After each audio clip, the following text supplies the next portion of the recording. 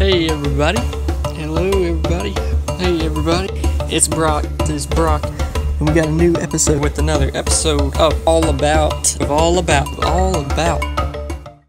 What's up everybody? We got a brand new episode of All About and you are here with Brock. If you don't know who I am, my name's Brock and I've been working at a fish store for years and kept tanks for even longer.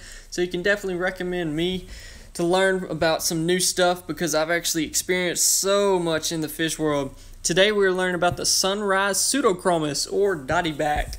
Prices on them, you'll spend about $40 on them. Tank size, need at least a 30 gallon. He doesn't really need much room because he is definitely a cave dweller. Care level, he's super easy.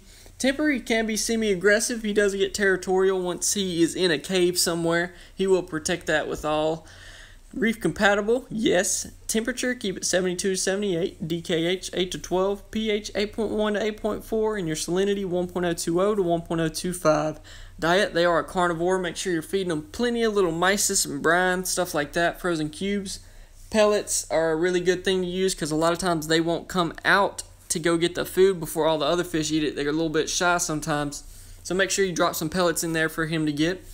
Max size, they can get about three inches. They stay small. They're little, little bitty fish.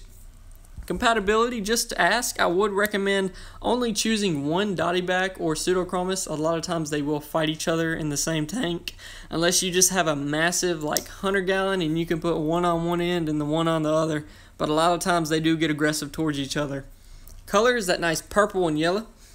Origin, they are captive bred. We don't catch these guys anymore. Like I said, they are big time cave dwellers. Basically, what that means is any overhanging arches you have, any good holes in your rocks, is he will go back there and kind of that'll be his spot, and he'll just poke his head out and chill. He's not much of a run around the tank and swim everywhere. But a short episode. Don't really need much about this guy. He's a beginner fish. Really cool to watch. Really fun guy.